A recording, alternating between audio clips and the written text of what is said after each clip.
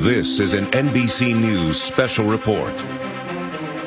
Good afternoon. I'm Morgan Radford. We've just heard from President Trump, who's been meeting at Camp David today with top aides and key Republicans in Congress. He's there discussing his legislative agenda for 2018. Now, the president also had more to say about allegations that have come out in a new book about the first year of his presidency. Here is some of what he had to say.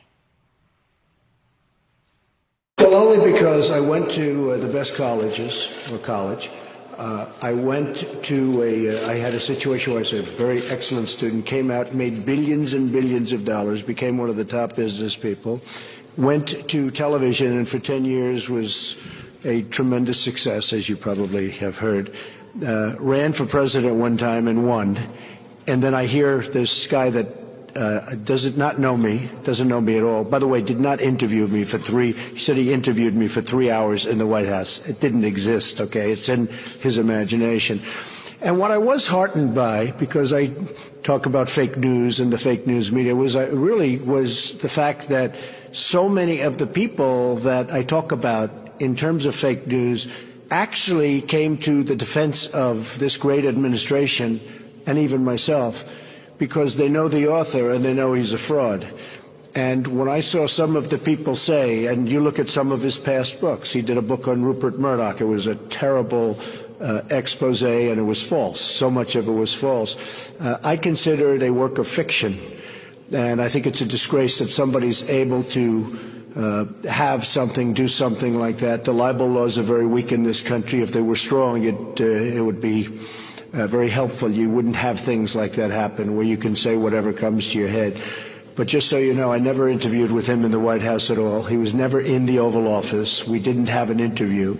Uh, and uh, I did a quick interview with him a long time ago having to do with an article. But I don't know this man. I guess uh, Sloppy Steve brought him into the White House quite a bit, and it was one of those things. That's why Sloppy Steve is now looking for a job. Let's get right to NBC's Kelly O'Donnell, who's live for us from the White House. Kelly, the president was there speaking frankly, clearly, and defensively, and this is really the first time he's commented on Michael Wolff's Fire and Fury book. What do you make of his comments?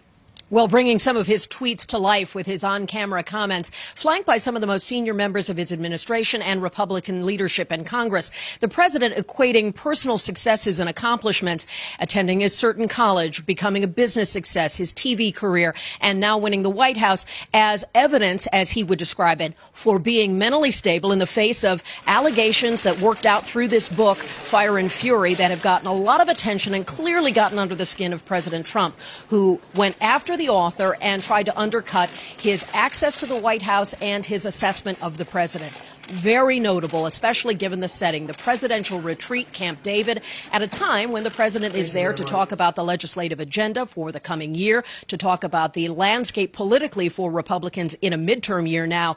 And he also made some news when asked about uh, whether it was proper to have his White House counsel try to discourage Jeff Sessions, the attorney general, from recusing himself in the Russia investigation. The president said he acted 100% properly. Morgan? And Kelly, taking us back to why he's there at Camp David in the first place, in terms of that 2018 agenda that you mentioned, what's at the top of that list? Well, among the things the president is talking about is a word we don't often hear from him bipartisanship, saying he can try to work some kind of deal with Democrats on immigration. That will be difficult. He is willing to try to work to provide legal status for young immigrants brought here as children without the proper documentation. It's known as DACA to extend that. But in exchange, he's talking about the wall for the southern border, more money for border security, things that would be difficult for Democrats to support. He's also talking about infrastructure and getting a budget deal to extend government funding to keep all the operations open beyond the next coming deadline, which is this month. So there's a big plate of issues. The president also says he will hit the campaign trail to support Democrats, rather Republicans, but he hopes that he can demonstrate a willingness to work with Dem- Democrats as well. That's something we have not yet seen in the first year of the Trump presidency.